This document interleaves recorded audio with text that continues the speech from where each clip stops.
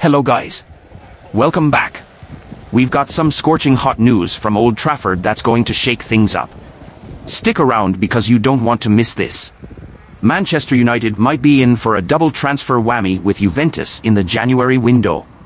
The buzz is all about Jadon Sancho and Donny van de Beek, both reportedly edging closer to a move to the Italian giants. Erik Ten Hag seems to be on a mission, clearing out the players he doesn't fancy at Old Trafford. Sancho and Van de Beek find themselves in the firing line, with Juventus emerging as a preferred destination. Sancho, the former Borussia Dortmund winger, has had a public falling out with Ten Hag. After a social media spat and a refusal to apologize, he's been shown the door. And it seems Juventus is ready to welcome him with open arms.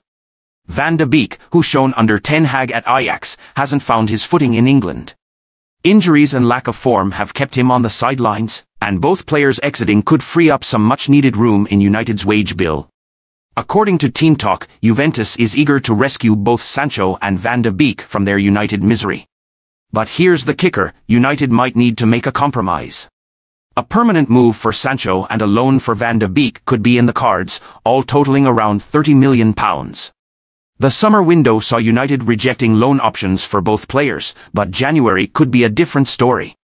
With four potential additions on United's radar, offloading fringe players like Sancho and Van de Beek becomes crucial to make room.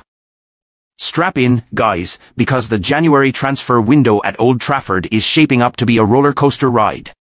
Should Sancho and Van de Beek make the jump to Juventus? Should United secure more additions to the squad?